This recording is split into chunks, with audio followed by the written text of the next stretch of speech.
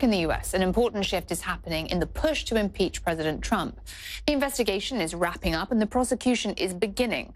At any moment, members of the House Intelligence Committee will get their first look at the report on the investigation into the president's conduct with Ukraine. Just a short time ago, Republicans released their own report claiming the Democrats never proved bribery or extortion by President Trump.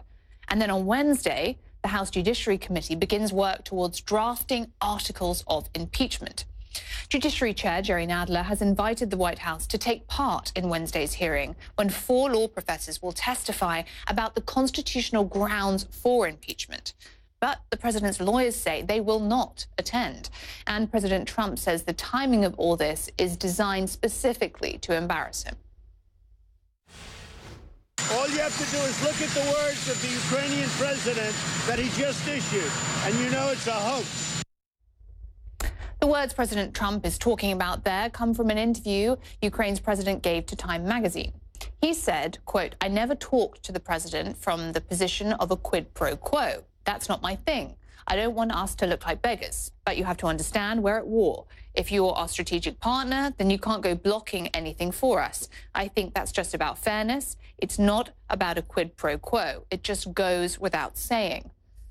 With the process of impeachment moving to the next phase, we thought it would be a good time to look back into the past in an effort to understand the future. So I took a trip into the archives, which I always enjoy, to examine the history of impeachment. They're words you've heard a lot about recently. Articles of impeachment, an investigation in the House that can lead to a trial in the Senate. As the fate of the Trump presidency is debated in Congress, let's take a walk through the history of impeachment. The first impeachment trial took place all the way back in 1868 and involved this man, Andrew Johnson. The 17th president was a Democrat and took over from Abraham Lincoln as president in 1865. He was impeached after dismissing Secretary of War Edwin Stanton. Congress had passed a law barring the president from firing cabinet officials. He was impeached by the House of Representatives, but acquitted in the Senate by just one vote. He went on to serve the remainder of his term, but didn't run for re-election. Just over a century later, it was this man's turn. But it's worth remembering that although the term impeachment is mentioned in the same breath as Richard Nixon, he was never actually impeached. Before the House of Representatives was able to conduct a vote on whether or not to impeach him, he resigned. Our entire focus should be on the great issues of peace abroad and prosperity without inflation at home. Therefore, I shall resign the presidency effective at noon tomorrow. Nixon faced possible impeachment on the grounds of obstruction of justice, abuse of power and contempt of Congress in relation to the Watergate scandal. While Nixon was never impeached, Bill Clinton was.